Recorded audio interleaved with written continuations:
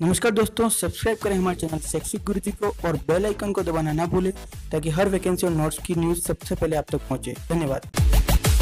दोस्तों, आज सचिवालय में एजुकेशन सेक्रेटरी नरेश पाल गंगवार जी से हमारे प्रतिनिधि मंडल की फिर वार्ता हुई। रीट लेवल प्रथम 2018 के लिए नरेश पाल गंगवार जी ने कहा कि कोर्ट से मामला हल होते ही तुरंत नियुक्ति के आदेश जारी कर देंगे और हमारी पूरी तैयारी है और हमें कल का इंतज़ार है। दोस्तों, अब कल ही पता चलेगा कि फैसला आता है या फैसला सुरक्षित होता है। मैं खुद कोर्ट में मौजूद रहूँगा। भगवान से दुआ करो कि कल फैसला आ जाए।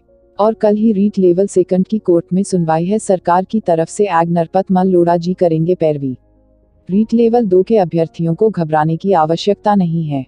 कल तारीख मिलने के अलावा कुछ मिलने वाला नहीं है और सितंबर में चयनित अभ्यर्थियों की नियुक्ति प्रक्रिया पूरी हो जाएगी। 2016 रीट शिक्षक भर्ती की वेटिंग के लिए रीट लेवल दो।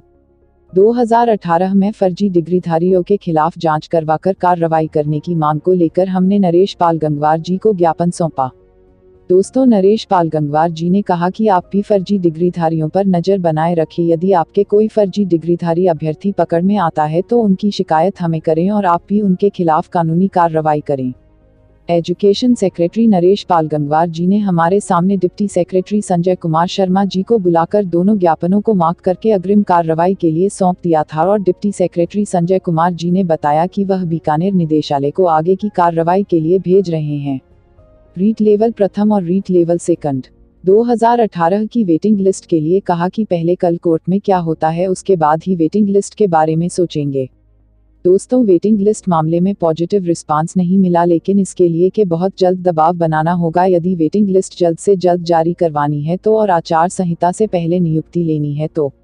दोस्तों मैं सचिवालय में आज मुख्य चुनाव आयुक्त श्री आनंद कुमार जी से मिलकर आया हूँ। उन्होंने साफ़ शब्दों में कहा है कि आचार संहिता लगने के बाद कोई भी नियुक्ति आदेश नहीं होंगे। जो भी आदेश होंगे, वह आचार संहिता लगने से पहले हो सकते हैं। आचार संहिता लगने के बाद एक भी नई नियुक्ति का आदेश नहीं होगा और दोस्तों, आचार संहिता अक्टूबर महीने में कभी भी लग सकती है और उसके बाद कुछ नहीं होगा, इसलिए हम सबको मिलकर सरकार पर दबाव बनाना होगा।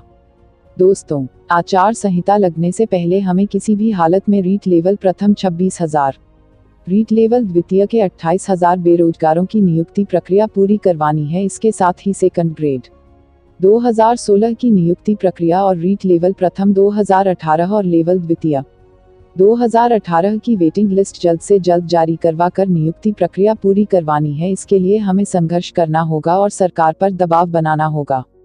रीट 2016 साइंस मैथ मामले की सुनवाई 12 सितंबर को है और सरकार पूरी ताकत के साथ 12 सितंबर को मामले का हल करवाने की पूरी कोशिश करेगी। हालाँकि रीट शिक्षक भर्ती 2018 साइंस मैथ की नियुक्ति प्रक्रिया प्रभावित नहीं होगी। दोस्तों, अक्टूबर में आचार संहिता लग जाएगी और बेरोजगारों को दर दर की ठोकरें खाने के अलावा कुछ भी नहीं मिलेगा, इसलिए अभी समय है, जाग जाओ और सोती हुई सरकार को जगा दो और अपनी आवाज़ बुलंद करके। उपेन यादव, राजस्थान बेरोजगार एकीकृत महासंघ।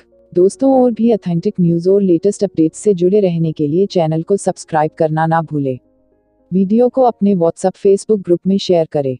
धन्यवाद। जय हिंद, जय भारत।